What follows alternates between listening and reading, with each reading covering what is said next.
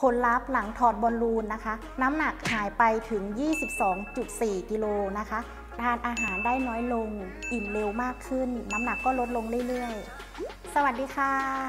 ตั๊กนะคะ วันนี้ตั๊กจะมาอัปเดตหลังใส่บอลลูนในกระเพาะอาหารได้ 6 เดือน ตอนนี้ตั๊กก็ได้ถอดบอลลูนออกไปเป็นที่เรียบร้อยแล้ว จากเดิมที่ตั๊กมีปัญหาในเรื่องของความอ้วน อ้วนมากๆนะคะ แล้วก็มีภาวะเสี่ยงในเรื่องของเบาหวาน ปวดเข่าเหนื่อยง่ายนะคะตั๊กจึงตัดสินใจมาใส่บอลลูนในกระเพาะอาหารค่ะ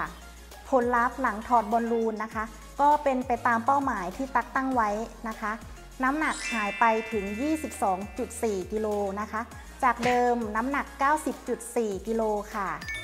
ค่ะสำหรับเคสของน้องตั๊กนะคะที่เข้ามารับบริการการดูแลโรคอ้วนกับหมอกันในวันนี้นะคะสำหรับผลลัพธ์ที่ได้นะคะ ดีมาก ๆ เลยทีเดียวค่ะ อันดับแรกนะคะ น้องตั๊กเนี่ยน้ำหนักลดลงถึง 22.4 กิโลใน 6 เดือนเลยค่ะ นอกจากนั้นเองเนี่ยน้ำตาลในเลือดนะคะ ไขมันในเลือดนะคะ ก็อยู่ในระดับที่ปกติแล้วก็สุขภาพดีมาก ๆ เลยทีเดียวค่ะ คนรอบข้างทักว่าทำยังไงผอมลงผอมลงมากๆนะคะ แล้วก็หุ่นดีขึ้นสวยขึ้นนะคะ แล้วก็บางคนบอกว่าผอมแล้วหน้าเปลี่ยนค่ะจำตักไม่ได้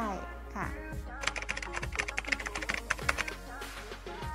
ค่ะ ช่วง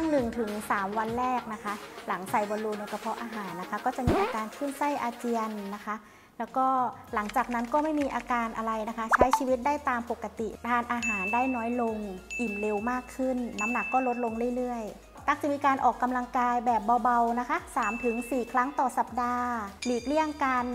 ว่ายน้ำหรือดำน้ำนะคะ หลังถอดบอลลูนไปแล้วนะคะ คุณหมอก็แนะนำในเรื่องของการรับประทานอาหารนะคะ แล้วก็เรื่องของการออกกำลังกายค่ะ เน้นกระชับสัดส่วนนะคะ เพื่อไม่ให้น้ำหนักกลับมาเพิ่มขึ้นเหมือนเดิมค่ะ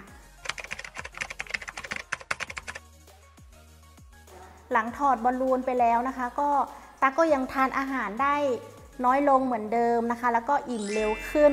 นะคะ ความรู้สึกก็ยังเหมือนไม่ได้ถอดบอลลูนเลยค่ะสำหรับใครที่สนใจลดน้ำหนักที่โรงพยาบาลยันฮีนะคะ ก็มีวิธีการลดน้ำหนักแบบครบมาก ๆ หลากหลายวิธี หรือท่านใดที่มีน้ำหนักตัวเยอะ BMI เยอะแบบตักนะคะ ก็แนะนำให้เข้ามาปรึกษากับคุณหมอกัลยาณีดูนะคะ ได้ทั้งหุ่นสวยๆและสุขภาพที่ดี ลดจริง 22.4 กิโลภายใน 6 เดือนค่ะ และที่สำคัญนะคะ ดูแลใกล้ชิดโดยแพทย์ค่ะ